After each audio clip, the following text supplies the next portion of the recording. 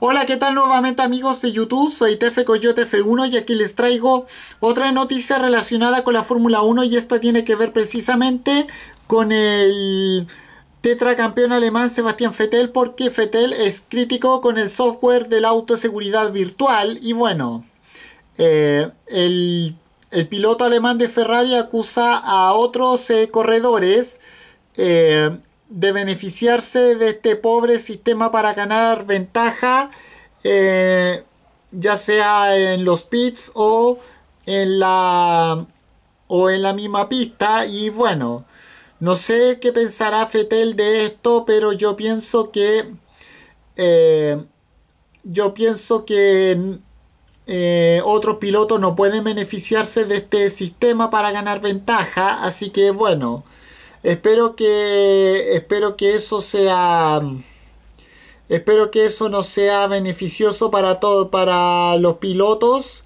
para algunos pilotos eh, en la Fórmula 1. Y bueno, con esto me despido, nos vemos, adiós, que me fuera, chao.